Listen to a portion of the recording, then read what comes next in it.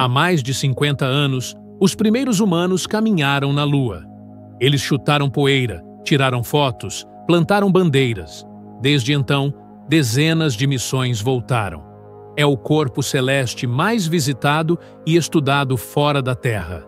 E, no entanto, depois de tudo isso, ainda não a entendemos. Nem como ela guarda calor, nem como lida com eletricidade, nem mesmo porque seu solo se agarra a tudo como se estivesse vivo. E o mistério mais profundo de todos começou com um sinal: um leve traço químico, depois outro e outro.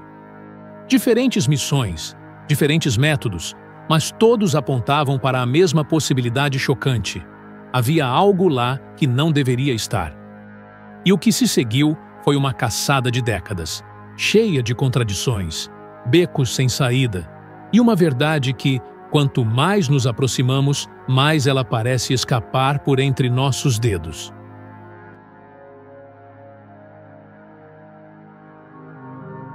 Às vezes, as pistas mais importantes são aquelas que ninguém acredita.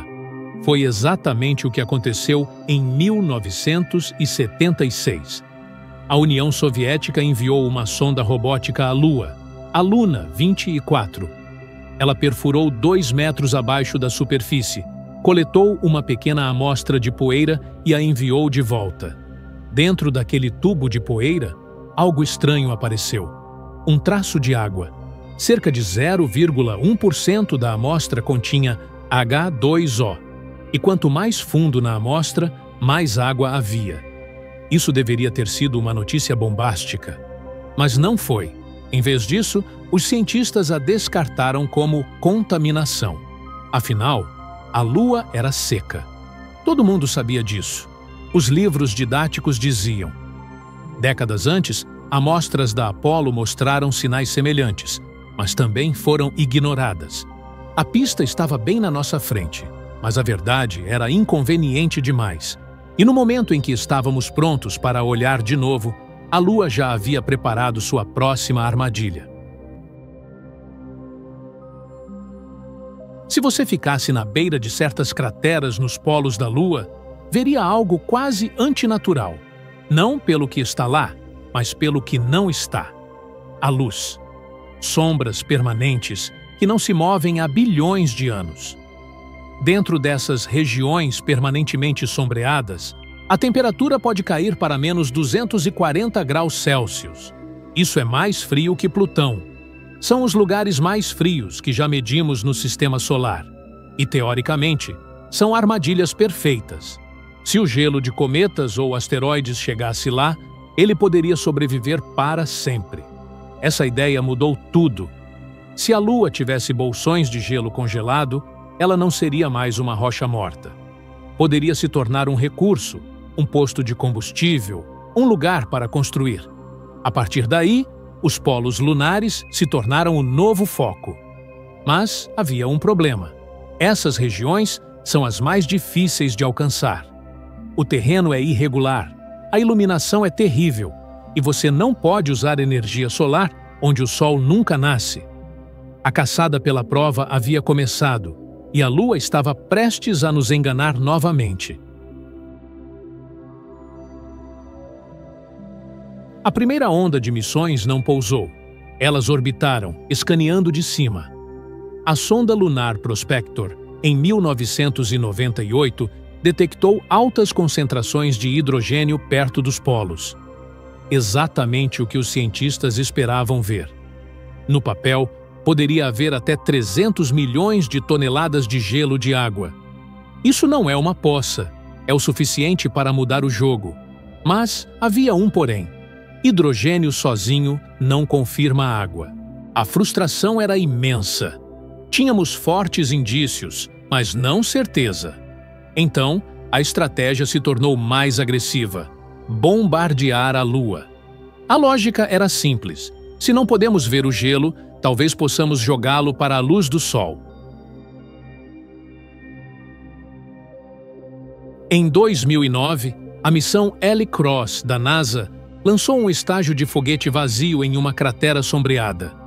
Minutos depois, a própria sonda voou através da pluma de detritos. E desta vez, funcionou. Os instrumentos detectaram vapor de água. Prova sólida. As manchetes explodiram. O mistério parecia resolvido. Mas a vitória foi breve.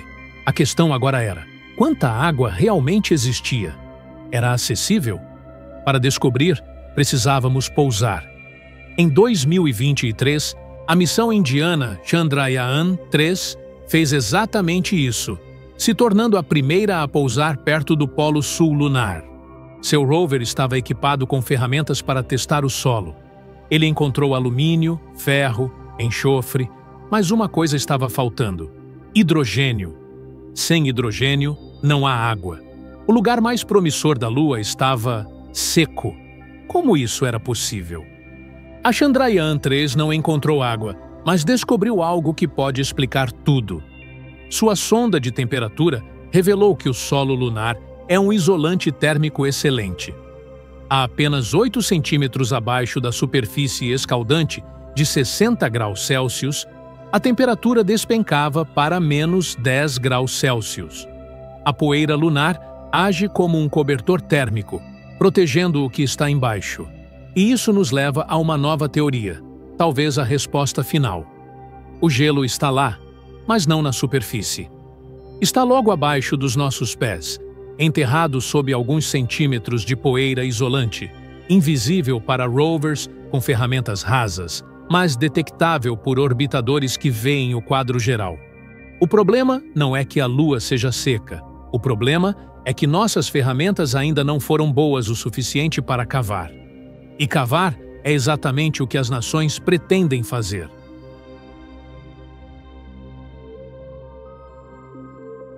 A busca por água lunar não é mais sobre curiosidade, é sobre independência. Água pode ser usada para beber, para cultivar alimentos e, o mais importante, pode ser dividida em hidrogênio e oxigênio, combustível de foguete.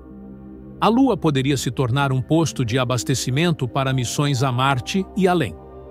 A primeira nação ou empresa a controlar uma fonte de água lunar não terá apenas direitos de se gabar terá o controle sobre o futuro da exploração espacial. É por isso que o Polo Sul está ficando lotado. Cada missão se aproxima, mas a Lua continua a nos desafiar. Ela nos dá sinais conflitantes, resultados inesperados, um quebra-cabeça que se recusa a ser resolvido. Mas uma coisa é certa: quaisquer que sejam os segredos que a Lua guarda, eles não ficarão escondidos para sempre. E no momento em que encontrarmos não apenas moléculas, mas água utilizável, será o início de algo muito maior do que a própria Lua. Será o momento em que o espaço se abrirá para sempre. A caçada continua e a grande pergunta permanece: a Lua está apenas escondendo bem seus segredos ou fomos enganados pela maior miragem cósmica da história? Quero saber a sua teoria. Deixe aqui nos comentários. Se esta jornada te deixou tão intrigado quanto a nós, ajude nosso canal a desvendar mais mistérios como este. Deixe o seu like para que essa história chegue a mais pessoas e se inscreva para não perder o próximo capítulo. Obrigado por assistir e até a próxima!